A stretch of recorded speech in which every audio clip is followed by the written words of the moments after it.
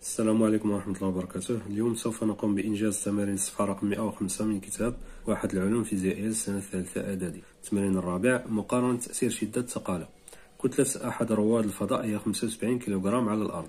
أولا أحسب شدة وزنه على سطح الأرض حيث شدة الثقالة هي 9.8 نيوتن على الكيلوغرام.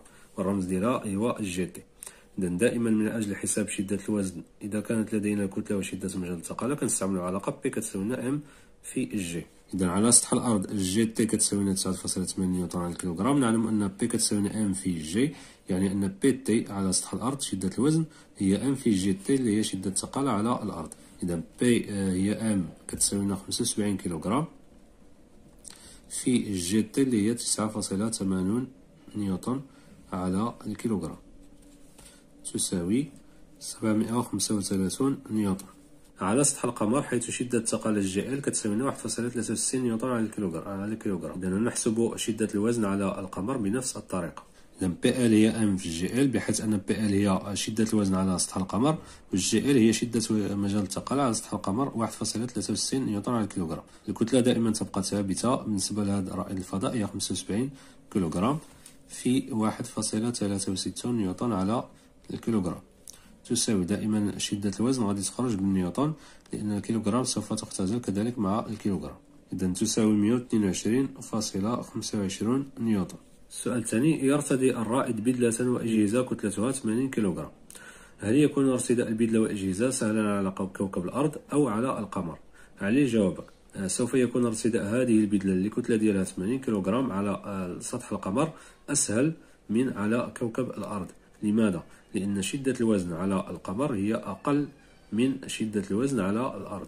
إذا ثانيا يكون ارتداء البدلة والأجهزة سهلا على القمر لأن شدة الوزن تكون أصغر على سطح القمر. إذا بالنسبة لسطح القمر مثلا بالنسبة ل 75 كيلوغرام شدة الوزن هي 122.25 نيوتن بينما شدة الوزن على الأرض هي 735 نيوتن. وبالتالي كلما كان شدة الوزن أكبر كتكون داك الجاذبية ديال الكوكب كتكون أكبر. وكيكون رفع الأثقال عليها كيكون أصعب التمرين الخامس رافعة الأجسام. تحمل رافعة جسما متجانسا كتلته 420 كيلوغرام. يوجد الجسم في حالة توازن. أي النقطتين تمثل مركز ثقل الجسم A أو B علل جوابك. إذا هذا الجسم هو في توازن تحت تأثير قوتين. القوة المطبقة من طرف الرافعة وقوة الجاذبية الأرضية اللي هي الوزن. لكي يكون الجسم في توازن تحت تأثير قوتين يجب أن يكون القوتين نفس خط تأثير ونفس شدة ومنحيين متعاكسين. الخط ديال التأثير ديال هذا الرافعة القوة المطبقة من طرف الرافعة هو الخط ديال هذا الخيط هو العمودي الذي منطبق مع هذا الخيط المار من النقطة C هذا المستقيم العمودي المار من النقطة C ماذا نلاحظ؟ أنه سوف يمر من النقطة إلا خدينا مسطرة وضعناها على هذا الخيط غنلقاو بأنه كيمر كذلك من النقطة أ وليس من النقطة ب وبالتالي المركز ديال الثقل ديال الجسم غيكون هو النقطة أ واللي هي غادي تمثلنا النقطة ديال مركز ثقل هذا الجسم. أولا الجسم في توازن تحت تأثير القوتين الرافعة والجاذبية أي أن خط تأثيرهما متطابق. إذا النقطة التي تمثل مركز ثقل الجسم هي النقطة A لأن خط تأثير القوة المطبقة من طرف الرافعة يمر من النقطة A وهو خط تأثير وزن الجسم. ثانيا نمثل وزن الجسم بتحديد السلم المستعمل. نعطي جي تساوي 10 نيوتن على الكيلوغرام. إذا لكي نمثل وزن الجسم ننطلق من النقطة A اللي هي مركز الثقل. الآن هي النقطة A في الغالب ديال الأحيان كنسميوها النقطة G. خط تأثيرها هو عمودي منحها نحو الأسفل لأن الجاذبية تجذب الجسم نحو الأسفل. دائما الوزن المنحى نحو الأسفل. ثم نقوم باختيار السلم. لكن من أجل يعني تحديد السلم يجب أولا أن نحسب كم تساوي شدة الوزن. هنا الكتلة هي 420 كيلوغرام وعطاونا آه، يعني هاد آه، شدة مجال الثقالة جي كتساوي 10 نيوتن على الكيلوغرام. نحسب شدة الوزن بعد ذلك نختار السلم. إذا شدة الوزن هي P كتساوي m في g m هي الكتلة عطاونا 420 كيلوغرام والجي هي 10 نيوتن على الكيلوغرام. 420 في 10 هي 4200 ثم نيوتن لأن الكيلوغرام سوف تختزل مع الكيلوغرام وتبقى نيوتن. سوف نختار سلم مناسب لكي يتناسب مع هذا شدة الوزن. إذا واحد سنتيمتر لكل ألفين ومية نيوتن. إذا كل ألفين ومية نيوتن نمثلها بواحد سنتيمتر يعني أن أربعة آلاف وميتين نيوتن غادي تمثلوها بإثنان سنتيمتر. واحد في أربعة آلاف ومئتين مقسوم على ألفين ومئة غتعطينا إثنان. إذا ناخذ مسطرة وعلى الشكل سوف نمثل هذه المتجهات ديال شد ديال وزن الجسم. إذا انطلاقا من النقطة أ سوف نقوم بتمثيل هذا وزن الجسم آه، بشكل رأسي. من النقطة أ نحو الأسفل ونديرو 2 سنتيمتر. إذا انطلاقا من النقطة أ نحو الأسفل 2 سنتيمتر وهذه هي القوة بي السؤال الثالث حدد مميزات القوة التي يطبقها الحبل على الجسم. مثل هذه القوة. إذا المميزات القوة المطبقة من طرف الحبل ديال الرافعة على الجسم. بطبيعة الحال هي قوة تماس مموضعة. إذا النقطة ديال التأثير هي النقطة C نقطة تماس. خط التأثير هو المستقيم العمودي ولا الرأسي المار من C المنحى من C نحو الأعلى لأن هذا الرافعة ترفع الجسم نحو الأعلى والشدة غادي تكون عندنا نفس الشدة اللي لقينا قبيلة اللي هي 4200 نيوتن. ثالثا مميزات القوة التي يطبقها الحبل على الجسم. آه، يعني حنا سميناها F نقطة التأثير هي النقطة C خط التأثير هو المستقيم. الرأسي المار من C المنحى من C نحو الأعلى الشدة F تساوي أربعة آلاف ومئتين نيوتن يعني نفس الشدة لأن هذا الجسم هو في توازن. من أجل تمثيل هذه القوة غادي نمثلوها بنفس الطريقة يعني ناخدو الخط اللي هو عمودي مار من النقطة C انطلاقا من نقطة C إثنان سنتيمتر نحو الأعلى وغنديرو سهم ديال المتجهة. إذا هذه المتجهة اللي كتمثلنا القوة F غنكتبو عليها القوة المطبقة من طرف حبل الرافعة على هذا الجسم. تمرين ستة تغيير شدة الوزن. شدة وزن شخص بالقطب الشمالي 5589.8 نيوتن حيث شدة الثقالة تساوي 9.83 نيوتن على الكيلوغرام. احسب كتلة الشخص. إذا باش نحسب كتلة الشخص غنستعملو العلاقة ديال P كتساوي لنا g في m إذا نعلم أن P كتساوي لنا m في g بغينا نعرفو هاد m شحال كتساوي؟ هي P على g إذا m كتساوي لنا P على g لدينا P هي 589.8 نيوتن و جي هي 9.83 نيوتن على الكيلوغرام. كيف ما عطاونا في التمرين. إذا m كتساوي لنا P اللي هي 589.8 نيوتن على 9.83 نيوتن على الكيلوغرام. تساوي 60 كيلوغرام. إذا نيوتن غادي تختزل مع نيوتن والكيلوغرام غادي ترجع إلى البسط. ثانيا حدد شدة وزنه بكل من الدار البيضاء حيث شدة الثقالة تساوي 9.80 نيوتن على الكيلوغرام وخط الاستواء حيث شدة الثقالة تساوي 9.78 نيوتن على الكيلوغرام. من أجل تحديد شدة الوزن نستعمل دائما العلاقة كتساوي لنا m في g. m هي الكتلة دائما هي اللي حسبناها قبيلة لقينا 60 كيلوغرام. في السؤال الأول والجي هي 9.80 بالنسبة للدار البيضاء و 9.78 بالنسبة لخط الاستواء. P كتساوي m اللي هي 60 كيلوغرام في جي اللي هي تسعة فاصلة ثمانين نيوتن على الكيلوغرام بالنسبة للدار البيضاء. تساوي خمسمية وثمانية وثمانين نيوتن.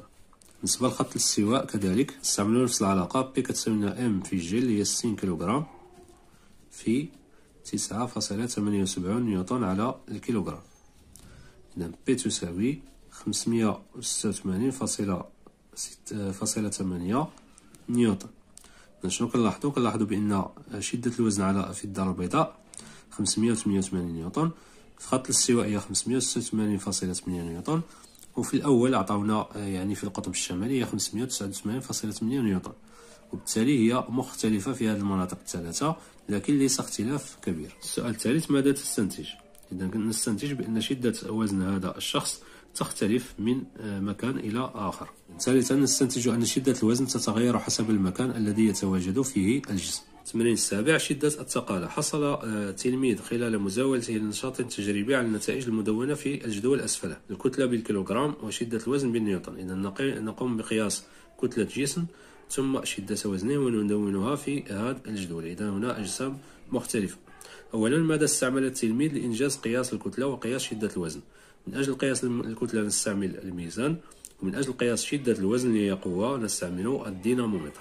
إذا من أجل قياس الكتلة استعمل الميزان ومن أجل قياس آه، شدة الوزن استعمل الدينامومتر. ثانيا خط المنحنى الممثل لتغيرات شدة الوزن P بدلالة الكتلة M. إذا نديرو المنحنى نديرو معلم متعامل منظم. آه، تغيرات شدة الوزن بدلالة الكتلة يعني الكتلة أم غادي تكون في يعني محور الفاصل وشدة الوزن بي تكون بمحور في محور الأراتب ثم سوف ننقل هذه يعني آه، القيم باستعمال سلم مناسب. يعني أنا قمت برسم هذا يعني المعلم متعامد منظم. هنا لدينا الصفر هنا لدينا P من نيوتن يعني شدة الوزن وهنا لدينا m بالكيلوغرام اللي هي الكتلة. ثم اختاريت السلم صفر فاصلة اثنان كيلوغرام تمثل واحد سنتيمتر واثنان نيوتن تمثل واحد سنتيمتر يعني في محور الأفاصيل. كل سنتيمتر هو صفر فاصلة اثنان كيلوغرام. إذا صفر فاصلة اثنان فاصلة أربعة صفر فاصلة ستة صفر فاصلة ثمانية واحد واحد فاصلة اثنان واحد فاصلة أربعة هنا نلقى واحد فاصلة ستة إذا كنمشيو بصفر فاصلة اثنان. ثم على محور الأراتب كل جوج نيوتن كتمثل واحد سنتيمتر. إذا اثنان أربعة ستة ثمانية عشرة اثنا عشر أربعة عشر.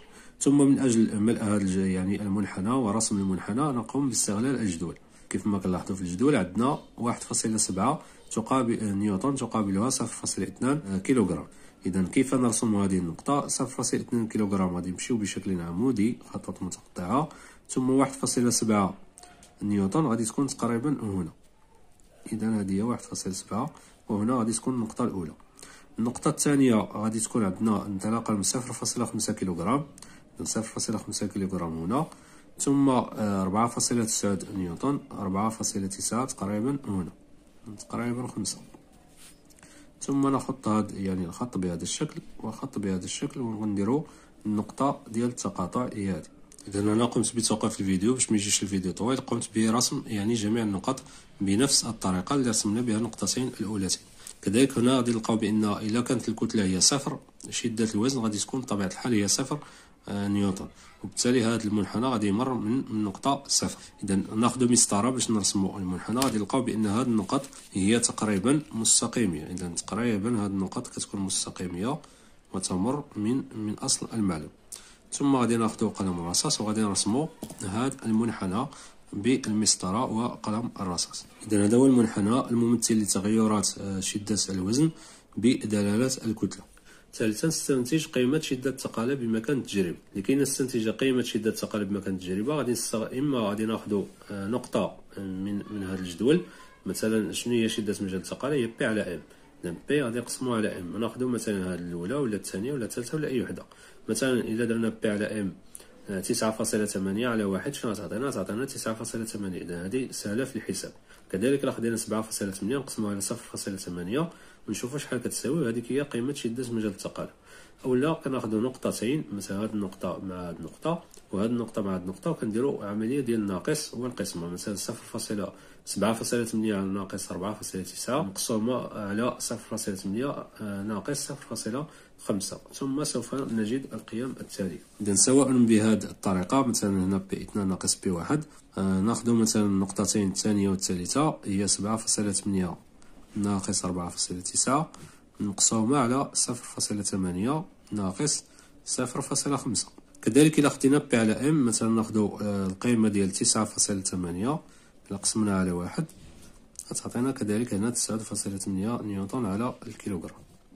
إذا هنا اثنان فاصلة تسعة على صفر فاصلة ثلاثة غادي تخرج هي تسعة فاصلة ستة وستون نيوتن على الكيلوغرام. كذلك هنا نلقاو 9.8 يعني أنها قيم تقريبية ديال شدة مجال الثقالة التمرين الثامن تحديد الكوكب. حمل رائد الفضاء في رحلته إلى أحد الكواكب جسما كتلته 87 غرام وشدة وزنه 2 نيوتن على سطح هذا الكوكب. أولا حدد الكوكب الذي يتواجد به رائد الفضاء. من أجل تحديد هذا الكوكب يجب أن نحسب شدة مجال الثقالة ال g. ثم سوف نقارنها مع هذه القيم المعطاة في التمرين يعني باش نعرفوا واش هو كوكب الأرض أو القمر أو المشتري أو زحل. إذا نحسب شدة مجال الثقالة لهذا الكوكب نعلم أن g كتساوي لنا P على m إذا هذه الطريقة باش غادي نحسبوا شدة مجال الثقالة P هي 2 نيوتن و m هي 87 غرام دائما باش نحسبوا شدة مجال الثقالة أو نحسبوا شدة الوزن يجب تحويل الكتلة إلى كيلوغرام. إذا 87 غرام هي صفر فاصلة صفر سبعة وثمانون كيلوغرام لأن كنقسمو على ألف. إذا P هي اثنان نيوتن على صفر فاصلة صفر سبعة وثمانون كيلوغرام. تساوي. إذا تساوي اثنان وعشرون فاصلة ثمانية وتسعون نيوتن على الكيلوغرام. إذا قمنا بمقارنة هذه القيمة مع هذه القيم الموجودة في التمرين غادي نلقاو هي على المشتري هي اثنين وعشرين فاصلة تسعة. إذا هذا الرائد الفضاء يتواجد على كوكب المشتري.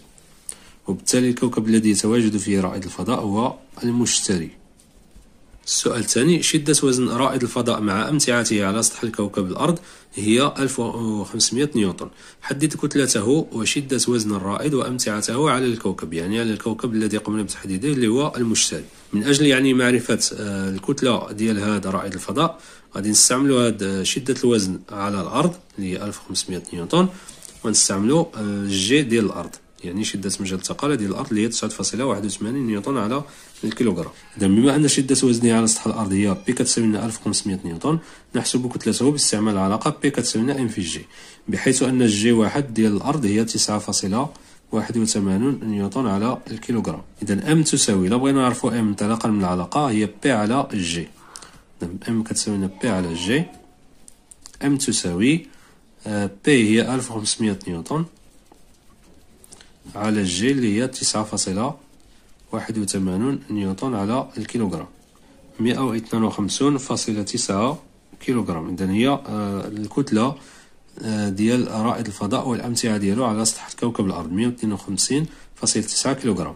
كيف نحسب شدة وزنه على هذا الكوكب؟ يعني على كوكب المشتري. آه، P كتساوينا m في g m هي الكتلة. ما غاديش تختلف لأن الكتلة هي اللي حسبناها في الأول. مئة واثنين وخمسين فاصلة تسعة كيلوغرام. نضربوها في الجي ديال كوكب مشتري اللي هي 22.9 آه، نيوتن على الكيلوغرام. إذا بي تساوي إذا قمنا بالحساب غادي نلقاو 3501 نيوتن إذا شنو كنلاحظوا بأن آه، شدة الوزن على كوكب المشتري هي أكبر بكثير من شدة الوزن على الأرض على الأرض 1500 نيوتن على كوكب المشتري 3500 نيوتن تقريبا. إذا كان هذا صحيح هذه التمارين نتمنى أن يكون مفهوم والسلام عليكم ورحمة الله وبركاته.